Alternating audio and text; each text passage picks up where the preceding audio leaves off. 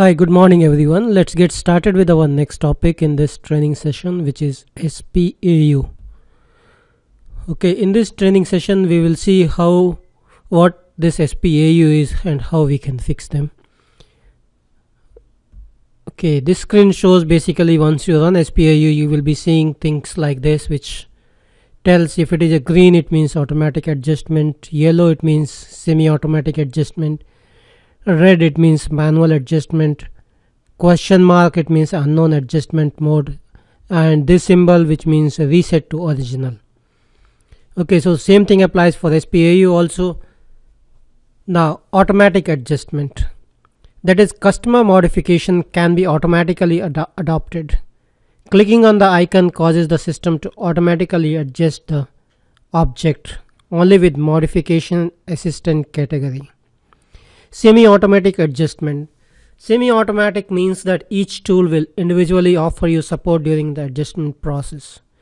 When adjusting programs, the split screen editor is called, whereas in the other tool, any entries made in the collision dialog box lead to the unnecessary adjustment being made automatically.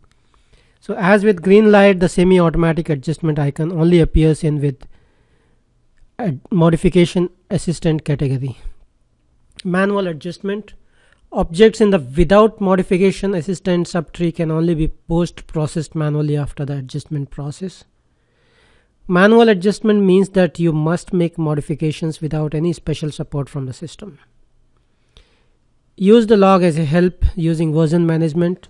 You can retrieve old versions or use your recording to process the newly imported objects. In rare cases, the red traffic light may also appear in the with modification assistant. So unknown modification adjustment the adjustment made for at least one of the object in question could not be determined for modification adjustment.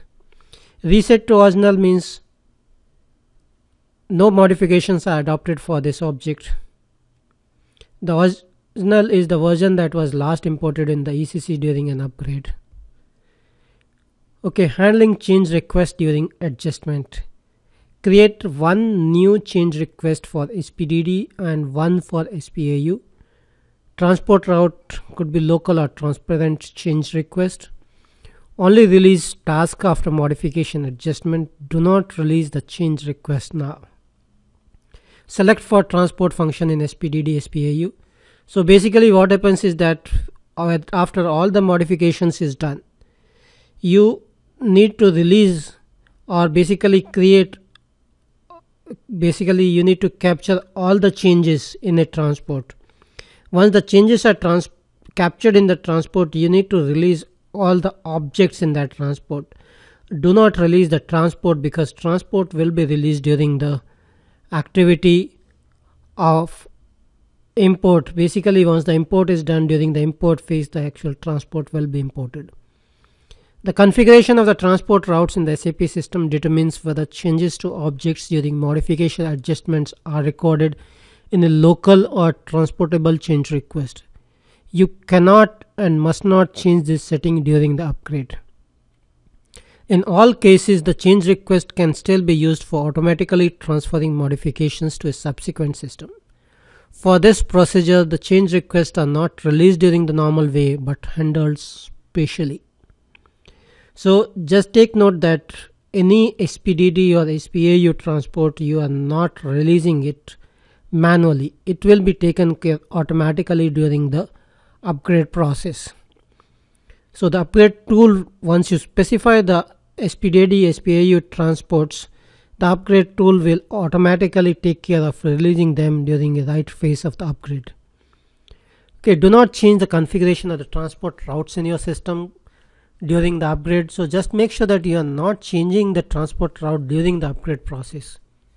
When modification adjustment has been completed release your tasks. The tasks are the repairs and corrections that were automatically assigned to you when the change request was created. Do not release the change request at this point. If you want to use it to automatically transfer the modification adjustments to subsequent systems during the adjustment of the ABAP dictionary objects, releasing request is locked until the edited object has been activated. do not release these requests until after the upgrade. To automatically transfer modifications to a subsequent system when you have completed modification adjustment, use the select for transport function in SPDD or SPAU. So basically, you can basically once your development system is modif is upgraded, these SPDD, SPAU transports are automatically transported into your QA system. Okay, so if your modifications are recorded in several change requests, you must have to place all entries in a single request. Several requests cannot be marked for trans transfer. So just take note that all the changes have to be captured for SPDD in one transport, for SPAU in another transport. Alright then, that's what I wanted to cover in this particular training session. Thank you for joining and have a nice day.